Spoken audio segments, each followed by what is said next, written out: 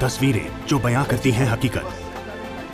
हालात जिनसे जुड़े हैं आपके जज्बात। जुनून जो बदल सकता है देश की तस्वीर। खबरें जो आपके लिए जानना है ज़रूरी। खबर दिन भर। भारतीय जनता युवा मोर्चा के द्वारा गुरुवार सुबह साढ़े छह बजे पूर्व मुख्यमंत्री के आवास से सिद्ध गोरा सूर्य मंदिर तक साइकिल रैली निकाली गई।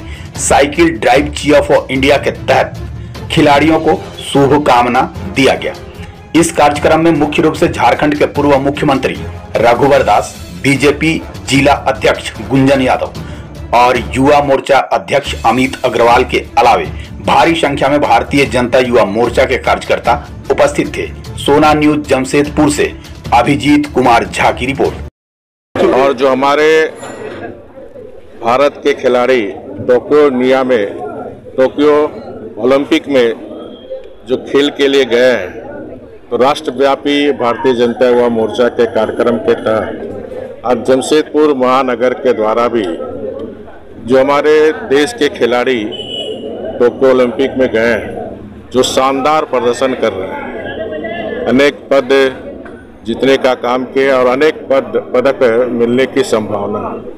और खासकर जो हमारी देश की बेटियाँ हैं, बच्चियाँ हैं, उन्होंने हमेशा खेल के माध्यम से भारत का नाम रोशन करने का काम किया है। झारखंड की भी ओलंपिक हॉकी के टीम में सलीमा टेटे और विक्की प्रधान बच्चियों ने काफ़ी शानदार प्रदर्शन किया तीरंदाजी में भी दीपिका जी भी गए लेकिन जो आशा थी वो आशा के अनुरूप सफलता नहीं मिली। फिर भी हमारे विदेशियों की तुलना में हमारे देश के खिलाड़ियों को सुविधा, व्यवस्था कम होने के बावजूद भी हमारे देश के खिलाड़ियों ने टोक्यो ओलंपिक में शानदार प्रदर्शन किया है। अपेक्षाएँ आशाएँ तो होती है, लेकिन हमारे खिलाड़ियों ने देश की आशा और अनुरूप के तहत और जीत और हार तो महत्वपूर्ण होते ही है, लेकिन जो ओलंपिक खेलने गए हैं खिलाड़ी, उन खिलाड़ियों को प्रोत्साहन करना भी देशवासियों का कर्तव्य बनता है। और उसी प्रोत्साहन के हेतु जमशेदपुर महानगर के युवा मोर्चा के द्वारा आज जो हमारे ओलंपिक में गए सभी खिलाड़ियों को प्रोत्साहित करने के लिए, आज चीयर्स फॉर इंडिया के तहत साइकिल यात्रा हस्ताक्षर अभियान के माध्यम से हम गए देश के सभी खिलाड़ियों को प्रोत्साहन प्रोत्साहित करने के लिए ये कार्यक्रम आयोजित किया गया।